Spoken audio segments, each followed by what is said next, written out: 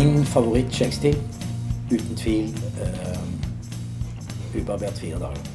Uh, etter jeg måtte gro bart sjøl, så har jeg fått en eh, litt sånn forskjell fra bart og år. Så uh, akkurat nå er jeg inne i en fase hvor jeg syns bart er bra. Veldig bra med bart.